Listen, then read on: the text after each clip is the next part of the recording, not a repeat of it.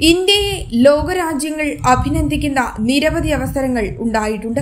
അതുപോലെ തന്നെ ഇന്ത്യയോട് നന്ദി പറയുന്ന അവസരങ്ങളും ഉണ്ടായിട്ടുണ്ട്.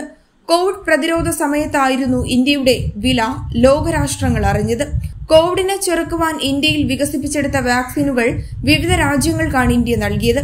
എഴുപതിലേറെ രാഷ്ട്രങ്ങൾക്കായി കോടിക്കണക്കിന് വാക്സിനുകൾ ഇന്ത്യ നൽകി. എന്തിനേറെ? ശത്രു രാജ്യങ്ങൾക്ക് പോലും വാക്സിൻ നൽകി. ഇത്തരത്തിൽ ഇന്ത്യയെ ആശ്രയിച്ച് ഇന്ത്യയോട് നന്ദി പറഞ്ഞെത്തിയത് അനേകം ലോക നേതാക്കളാണ്. ഇപ്പോഴും രാജ്യത്തിന്റെ മറ്റൊരു പ്രഖ്യാപനമാണ് ശ്രദ്ധ നേടുന്നത്. ഇന്ത്യ തദ്ദേശീയമായി വികസിപ്പിച്ച ഫൈവ് ജി സേവനങ്ങൾ മറ്റ് രാജ്യങ്ങളുമായി പങ്കിടാൻ തയ്യാറെന്ന് കേന്ദ്ര ധനമന്ത്രി നിർമ്മല സീതാരാമൻ അറിയിച്ചിരിക്കുകയാണ്. മറ്റ് രാജ്യങ്ങളിൽ നിന്ന് ഇറക്കുമതി ചെയ്ത സേവനമല്ല ഫൈവ് ജി എന്നും അതിനാൽ തന്നെ മറ്റ് രാജ്യങ്ങളുമായി പങ്കുവയ്ക്കാവുന്നതാണെന്നും നിർമ്മല സീതാരാമൻ വ്യക്തമാക്കുകയുണ്ടായി. ഫൈവ് ജി പൂർണമായി ജനങ്ങളിലേക്ക് എത്തിയിട്ടില്ലെന്നും എന്നാൽ വൈകാതെ തന്നെ അതിവേഗ ഇന്റർനെറ്റ് സൗകര്യം ഒരുക്കുമെന്നും മന്ത്രി കൂട്ടിച്ചേർത്തു. തിരഞ്ഞെടുത്ത നഗരങ്ങളിലാണ് നിലവിൽ സേവനങ്ങൾ ആരംഭിച്ചിരിക്കുന്നത്. രണ്ടായിരത്തി ഇരുപത്തിനാലോടെ രാജ്യത്തൊട്ടാകെ ഫൈവ് ജി വ്യാപിപ്പിക്കും. ടെലികോം രംഗത്ത് രാജ്യത്തിന്റെ കുതിപ്പിൽ ഓരോരുത്തർക്കും അഭിമാനിക്കാമെന്നും നിർമ്മലാ സീതാരാമൻ ചൂണ്ടിക്കാട്ടി.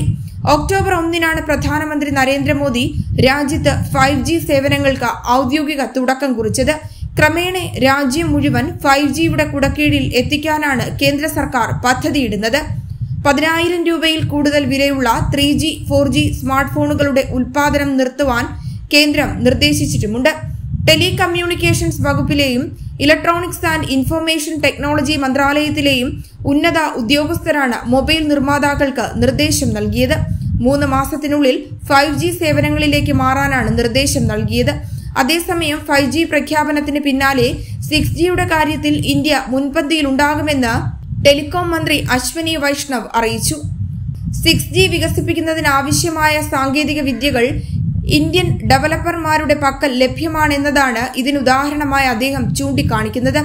ഫൈവ് ജിയുമായി താരതമ്യപ്പെടുത്തുമ്പോൾ കൂടുതൽ നെറ്റ്വർക്ക് വേഗത കൈവരിക്കുവാൻ കഴിയുന്ന സിക്സ് ജി ടെക്നോളജി പ്രോട്ടോടൈപ്പുകൾ ഇൻസ്റ്റിറ്റ്യൂട്ട് പ്രദർശിപ്പിച്ചിട്ടുമുണ്ട്. ടെലികോം ലോകത്തെ ഫൈവ് ജിയിൽ നിന്ന് സിക്സ് ജിയിലേക്ക് കൊണ്ടുപോകുവാൻ വികസിപ്പിച്ചെടുത്ത പല സാങ്കേതിക വികസനങ്ങളും ഇതിനകം സംഭവിച്ചിട്ടുണ്ട്.